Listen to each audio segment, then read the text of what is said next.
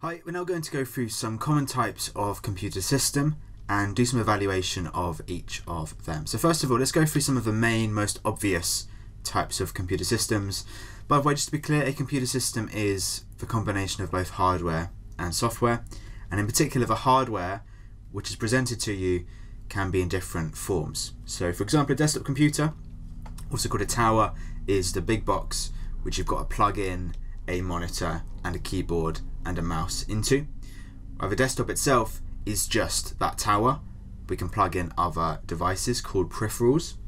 The laptop, in comparison, has got the monitor and keyboard and mouse built in to its shell. Okay, so in terms of evaluation, right, a laptop is portable, you can take it around, it's got a battery. A desktop computer hasn't got a battery, it's got to get plugged in at all times, and so is not nearly as portable.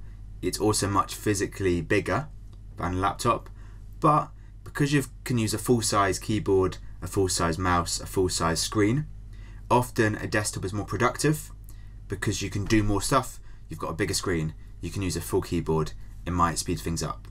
It's why in offices, usually you've got desktop computers, whereas maybe at home or for people who travel, a laptop is a better solution.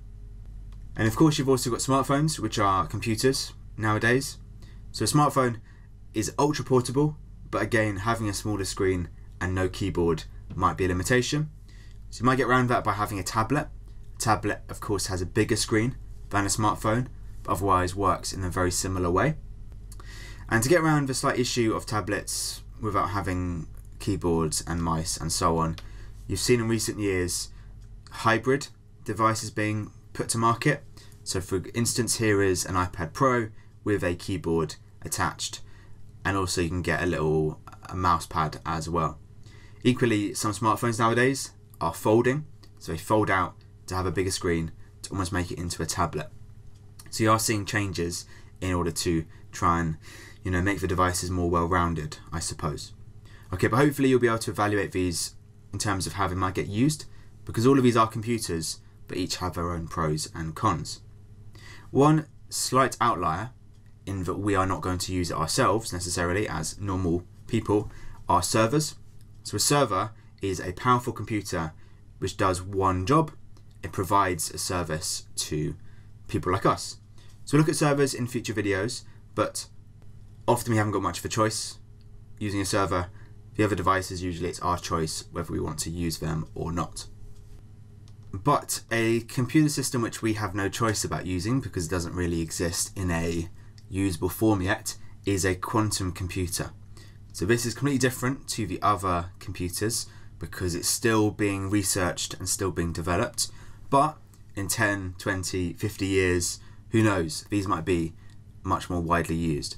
This picture is of one by Google. You can see it's not, it doesn't look like a computer at all. Now what a quantum computer does and what makes it different is it does not use standard binary logic. So all of these other computers work using just binary. And binary, as we'll talk about in a future video, just consists of zeros and ones. So right now your computer is just using zeros and ones, which is kind of crazy, but actually a quantum computer does not use this system. Now because it's quantum, it can be a little bit weird. Right, quantum physics has some slightly strange behavior, as you might know. So a quantum computer does not use standard bits, binary digits, it uses instead qubits. A qubit is a quantum bit, and a quantum bit can be 1 or 0, like a bit, but also what is different is it can be both at the same time. So inside of a computer, it can be either 1 or 0 or both is the difference in a quantum bit. It's just how particles behave at a very, very small scale. Very confusing. It's quite an advanced area of physics, as you probably are aware. Um, but it does enable us to massively speed up processing.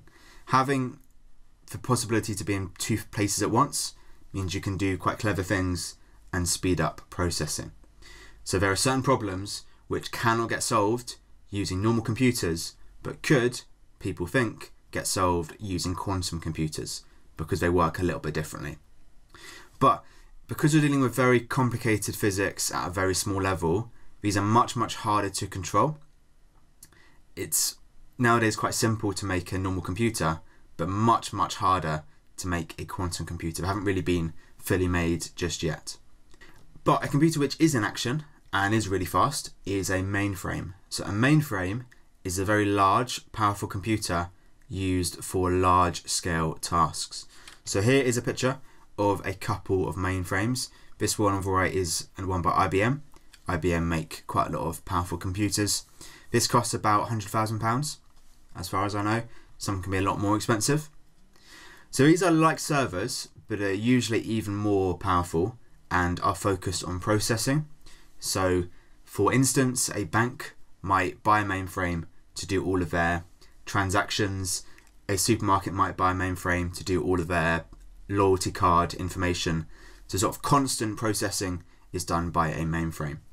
And these are really reliable. The whole purpose is you can set up a mainframe and leave it for years and years and years. It should just work all the time, 24 7, with no issues. So they're really reliable, partly because they're designed with backups. So inside the mainframe will be lots of backups. There might be multiple CPUs, multiple storage devices. So if one fails, there'll be a backup device to use. And also, there'll be a team of people working on them. So they're reliable because you've got people constantly fixing them and checking they're working and all that sort of stuff. So that's really a downside because they are complicated and have got advanced features. You do need to have a team of people helping and supporting. You can leave them, but you do need people to be checking they're working all okay. So really powerful and really reliable, but are complicated and are quite expensive. So they can act in a very similar way to a server. You could argue they are a server, but most typical servers are not as powerful and do not need the level of support which a mainframe does. And the final type I want to cover now is much more going back to stuff me and you could use potentially. We're not going to use mainframes or quantum computers in our normal lives, but we might use embedded systems relatively often. So, an embedded system is a computer within a wider system that performs a dedicated job. So, let's break apart what that means. To give you an example, which I like um, as an example, is a hot tub. So, a hot tub, of course, is just like a big bath, but with fancy features. You've got some jets, you've got some maybe LEDs, you've got some uh, heating um, as well. Now, hot tub itself is a wider system. So it's a system. The hot tub itself is not a computer, but inside the hot tub there'll be a mini computer running the whole system. So inside the hot tub there'll be an embedded system. The word embedded means inside something else, and there'll be a little computer, you can see the screen here, running this hot tub. Okay, so the computer does a, a dedicated job. When a dedicated job, that means it's doing one job and nothing else. You can't play video games on a hot tub computer, you can't check your emails, you can't go on Twitter. It's doing one job, and that's running the hot tub. So they're usually really simple and really basic computers. Now, nowadays, often we have quite a few embedded systems even in our house, and they may work together as part of something called the Internet of Things, IoT. So, the Internet of Things is the idea that many, many simple embedded systems are nowadays able to connect and work together as part of a network. So, for instance, in your house, you might have a fancy toaster or a fancy microwave, which is an embedded system. And maybe the idea is that could connect to other devices in your kitchen. So if you've got a fancy kettle or a fancy oven or a fancy toaster, they may communicate in some way to decide when to turn on or turn off or things like this. Another example might be in a car. Most modern cars have got lots and lots and lots of embedded systems, things like managing for windscreen wipers, the sat nav, the headlights, the brake fluid, like all, all sorts of stuff are being managed by embedded systems. Again, you might be able to communicate with your car from your phone, from your laptop, remotely through the internet. That's the idea of the Internet of Things. Another example might be in your house a smart light bulb, which Again, could be part of the Internet of Things. Generally, things which are called smart mean they are embedded systems and are part of the Internet of Things. You can control the lights from your phone. The lights might communicate with something like Alexa, some other system to work together. And a final example, which is not of Internet of Things because most of us don't have planes, but going back to just typical embedded systems, often the computers in things like planes or other advanced machinery can be considered embedded systems. You know, the autopilot, for example, is a basic computer which can't do anything else. All it does is make sure the plane flies and it's inside the plane. The plane is our wider system. Okay, so bear in mind, you know, embedded systems are very simple and are inside other devices or other systems, not always computers, but they may, in some cases, especially inside the home, work together as part of the Internet of Things.